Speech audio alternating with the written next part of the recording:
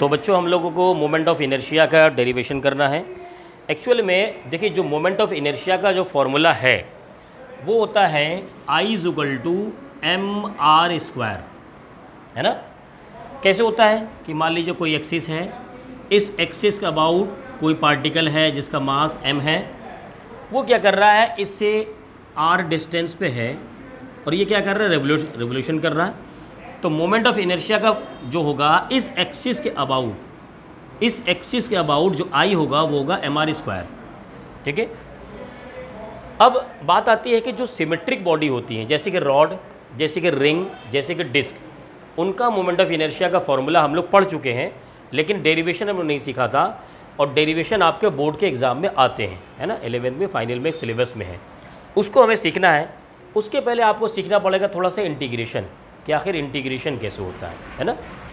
तो देखिए इंटीग्रेशन का फॉर्मूला क्या होता है कि मान लीजिए इंटीग्रेशन का सबसे पहले साइन होता है ये, और साथ ही साथ मान लीजिए इंटीग्रेशन है तो अगर एक्स का इंटीग्रेशन करना है तो साथ में होना चाहिए dx ऐसा नहीं कि आप x का इंटीग्रेशन करेंगे और साथ में होना चाहिए r, ऐसा नहीं होगा।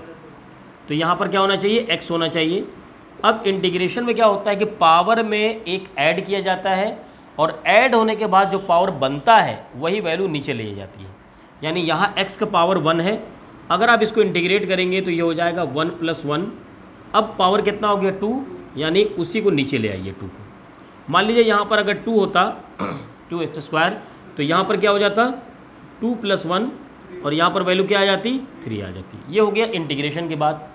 अब बात करते हैं लिमिट की। मान लीजिए यहाँ पर लिमिट है, और वो है एक्स वन एक्स से एक्स टू तो इंटीग्रेशन के बाद इसकी वैल्यू को रखते हैं ऐसे एक्स वन और एक्स टू अब क्या करते हैं? देखिए, यहाँ पर एक्स क्यूब है एक्स थ्री है, इसको एक्स थ्री लिख देते हैं एक्स क्यूब अब ये जो थ्री है ना, इसको बाहर कर लिया जाता है आमतौर पर। नहीं भी करेंगे तो भी पता चल जाएगा। एक बार ये अपर लिमिट की वैल्यू यहाँ रखी जाएगी और फिर माइनस करके एक बार लोअर लिमिट तो थ्री तो मैं बाहर कर ही चुका हूँ। तो मैं इसको कैसे लिख सकता हूँ? एक्स टू इसकी जगह रख दिया cube minus lower limit x one cube. ये तरीका होता है इंटीग्रेशन का, है ना? तो जो बाय वाले स्टूडेंट हैं वो जब बहुत ध्यान समझ ले, मैथ वाले तो बहुत आसानी से कर लेते हैं। और जिन लोगों ने इंटीग्रेशन पढ़ा है, उनके लिए आसान है। जिन्होंने इंटीग्रेशन नहीं पढ़ा है, उनके लिए थोड़ा मुश्किल हो जाता है। तो इतना अगर बेसिक आपको आता है तो आप आसानी से कर सकते हैं। इसको अगर आप थ्री बाहर ना निकालते तो आप यहाँ पर लग सकते थे थ्री अपॉन थ्री ठीक है? अब आगे बढ़ते हैं हम अपने डेरिवेशन पर। आयशा, समझ में आया ना?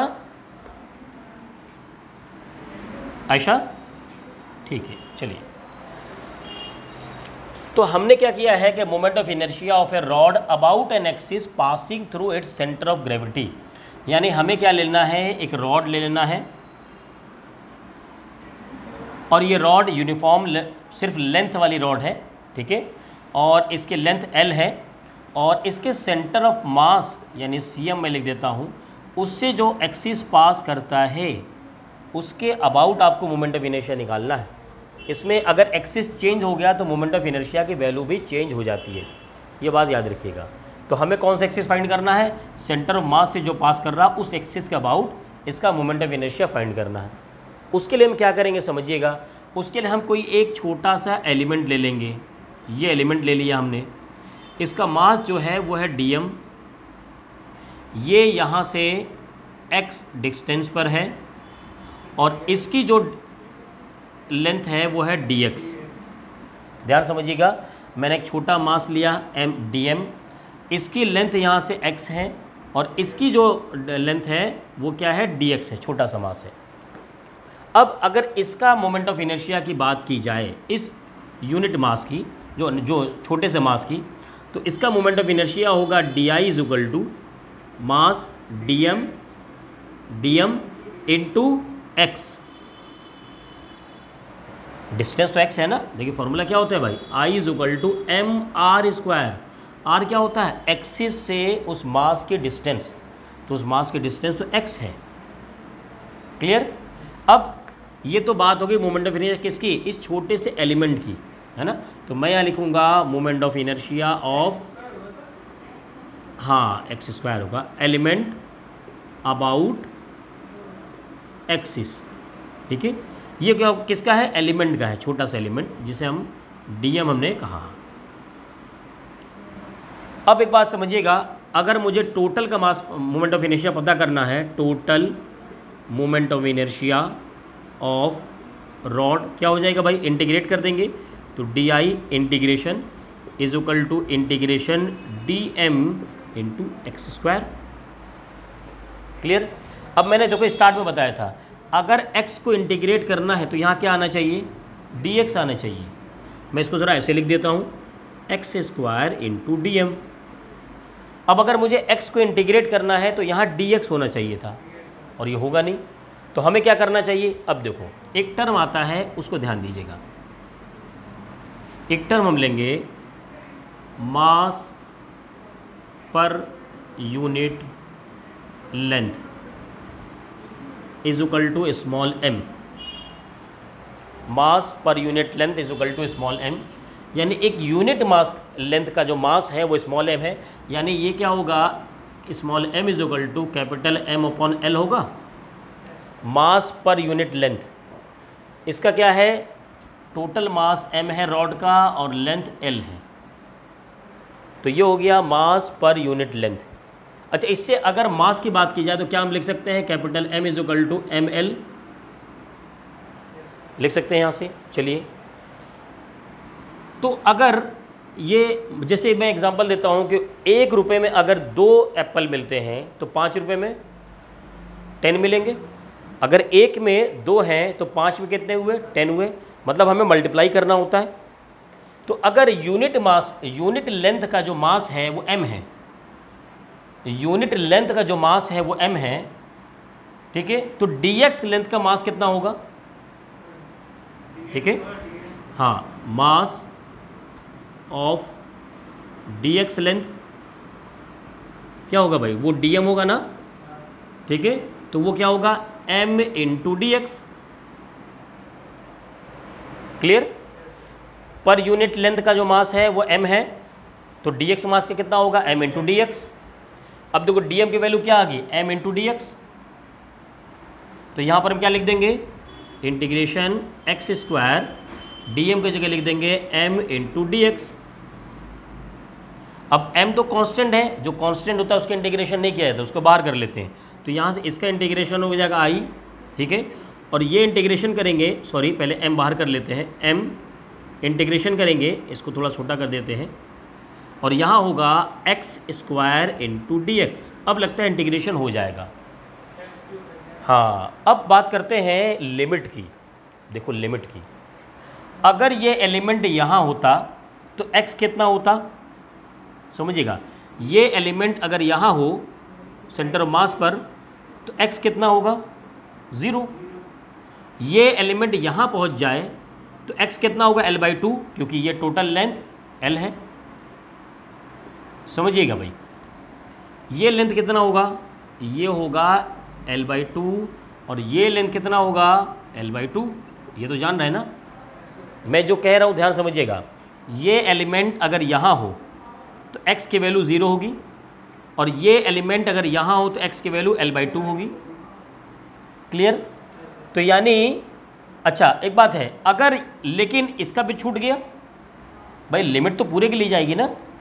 इसलिए लिमिट क्या होगा, इधर अगर प्लस एल बाई टू है तो इधर क्या होगा माइनस एल बाई टू तो यहाँ पर लिमिट हो जाएगी माइनस एल बाई टू से प्लस एल बाई टू एक तरीका और है, आप क्या कर सकते हैं, आप, अगर आप ये एक्सिस यहाँ लिया जाए या एक तरीका और है इसी में, क्या कर सकते हैं, आप ज़ीरो से एल बाई टू ले लीजिए ज़ीरो से एल बाई टू और जब मोमेंट ऑफ़ इनर्शिया फाइंड कर लीजिए तो उसमें टू से मल्टीप्लाई कर दीजिए इस वाले के लिए।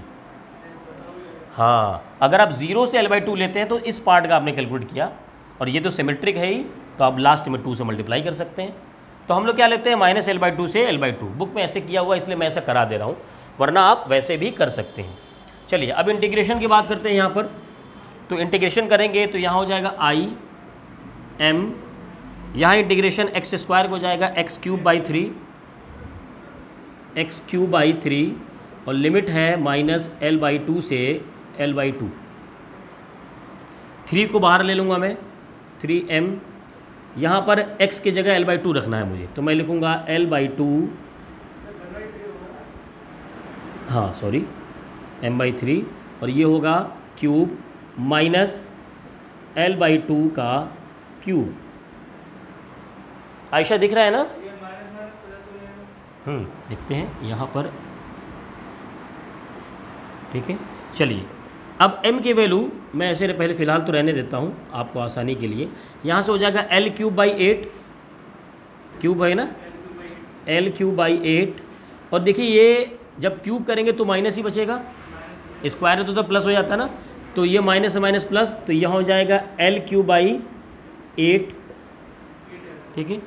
एट कॉमन हो जाएगा नीचे हो जाएगा ट्वेंटी फोर, और यहाँ पर m की वैल्यू स्मॉल m की वैल्यू क्या आ सकती है? कैपिटल m बाई एल तो यहाँ हम लिख देंगे capital m by L into twenty four into L cube ध्यान दीजिए भाई। ठीक है? चलो मैं इसको थोड़ा सा यहाँ लिख देता हूँ बस, आसानी से भी। तो यहाँ से i की वैल्यू क्या आ जाएगी? ऊपर है m, बचेगा क्या? एल स्क्वायर और क्या यहाँ एल क्यूब की जगह टू एल क्यूब होगा? भाई ऐड करेंगे ना। फिर से समझिए एम बाई थ्री है ही तो मैंने स्मॉल एम की जगह कैपिटल एम बाई एल रख दिया। ठीक है? थ्री यहाँ एट कॉमन लिया तो हो गया ट्वेंटी फोर और यहाँ L cube plus L cube तो टू एल क्यूब हो गया। तो यहाँ से टू से इसको कैंसिल करें, कितना बचेगा? ट्वेल्व और ये एल से क्यूब कटेंगे तो वहाँ बचेगा स्क्वायर तो यानी ये हो जाएगा M L square by twelve ये आएगा moment of inertia of an axis passing through passing through centre of mass अब हम एक्सिस को शिफ्ट करके भी इसका फॉर्मूला फाइंड कर सकते हैं। ठीक है नोट कीजिए इसको।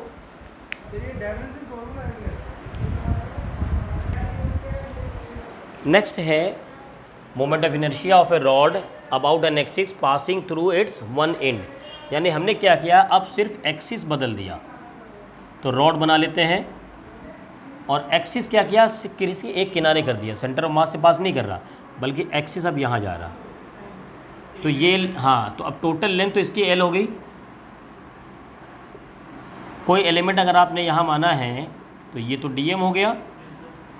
इससे डिस्टेंस एक्स और इस जो डीएम मास है, उसका जो लेंथ होगा, वो होगा डी एक्स क्लियर अब चेंज क्या होगा वो समझिएगा। इसमें चेंज होगा, वो लिमिट होगी। क्योंकि ये एलिमेंट अगर यहाँ है तो x की वैल्यू ज़ीरो हो गई। ये तो डिस्टेंस है। और ये एलिमेंट खिसकते खिसकते यहाँ तक पहुँच गया तो एक्स इजिकल टू क्या हो जाएगा? एल हो जाएगा। हाँ तो यहाँ से लिमिट क्या बन गया? ज़ीरो टू एल अब यहाँ से इसको इंटीग्रेट करेंगे तो ये हो जाएगा I M x cube by three zero to L ठीक है? तो अब यहाँ पर क्या करेंगे? इसकी वैल्यू रख देंगे। एम बाई थ्री यहाँ हो जाएगा एल क्यूब अंदर सिर्फ़ क्या आएगा? एल क्यूब और हाँ यहाँ से आ गया एल क्यूब अब जब यहाँ देखिए वैल्यू रखेंगे हम लोग I is equal to M की वैल्यू हमें रखना है ना अभी? एम की वैल्यू रखना है स्मॉल एम वो क्या होगा? एम बाई एल और upon three into L cube तो यहाँ से आई आ जाएगा M L square by three. M L square by three. ठीक है? नोट के लिए जल्दी से इसको। नेक्स्ट रिंग की तरफ़ आगे बढ़ेंगे फ़ौरन। तो हमें मोमेंट ऑफ़ इनेशिया फाइंड करना है, रिंग के लिए अब। तो देखिए रिंग कैसे बनाएँगे? एक रिंग आप ऐसे ड्रॉ कर लीजिए। ये रिंग मतलब ऐसे इस तरीके से हॉरिजॉन्टल में। और इसका सेंटर ऑफ़ मास कहीं बीच में होगा। इससे एक्सिस इस तरीके से पास कर रहा। यानी समझिएगा कि अगर रिंग इस तरीके से है तो एक्सिस ये रहा परपेंडिकुलर क्योंकि इसका प्लेन तो ये रहा। इसका प्लेन इस तरीके से है तो क्या होगा? एक्सिस इस तरीके से होगा। इस एक्सिस के अबाउट आपको मोमेंट ऑफ़ इनेशिया पता करना तो देखो, बहुत आसान है। भाई अच्छा ये बीच से नहीं बना। ये रहा सेंटर और यहाँ से हमने बना दिया। और इसका रेडियस जो है, वो है कैपिटल आर यहाँ पर हमेशा याद रखिएगा मास और कैपिटल आर दोनों गिवन है रेडियस आर ठीक है? हम क्या करते हैं, इसमें भी एक छोटा सा एलिमेंट ले लेंगे। ये बहुत आसान है, एक छोटा सा एलिमेंट और इस एलिमेंट का जो मास है, वो है डी और जो इसकी लेंथ है वो डी एक्स हालाँकि डी की भी ज़रूरत नहीं पड़ेगी। अगर इस एलिमेंट का मोमेंट ऑफ़ इनर्शिया इस एक्सिस के अबाउट देखा जाए, सिर्फ़ इस एलिमेंट का तो वो क्या होगा? डी आई वो होगा यहाँ पर डी एम इंटू डिस्टेंस कितना है? यहाँ तो डिस्टेंस ऑलरेडी आर है तो आर स्क्वायर हो गया मास इंटू आर स्क्वायर और अगर टोटल की बात की जाएगी तो क्या करेंगे भाई? इंटीग्रेट कर देंगे। देखो, यहाँ इंटीग्रेशन करेंगे तो इसका इंटीग्रेशन तो आई आई जाएगा। इधर क्या होगा? इंटीग्रेट कौन होगा? डीएम होगा ना? और रिंग का जो रेडियस है वो तो कांस्टेंट है।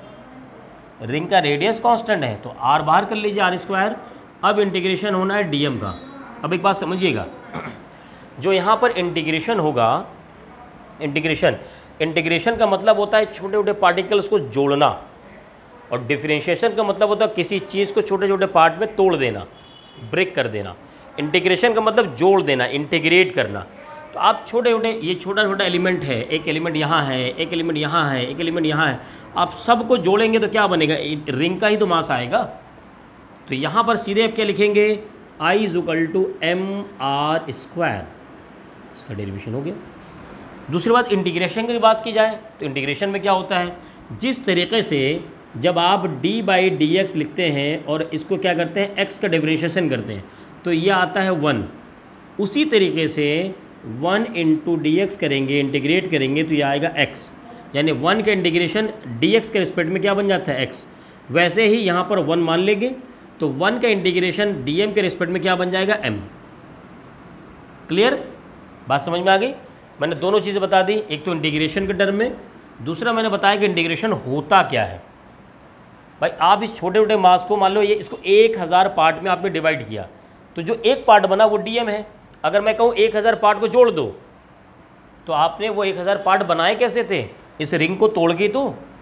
छोटा सा एलिमेंट बनाया था डीएम और एक हज़ार डीएम को फिर से जोड़ दो कितना बन जाएगा? कैपिटल एम बन जाएगा। क्लियर समझ में आ गया होगा? चलिए नोट कीजिए।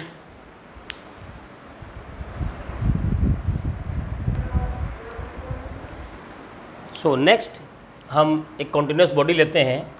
और उसका नाम ले लेते हैं रेक्टेंगुलर लेमिना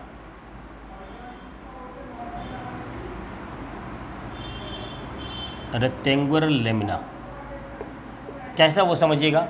मान लीजिए कोई लेमिना है। ये हमने ले लिया। लेमिना का मतलब होता है कि आपने कोई कॉपी ले लिया।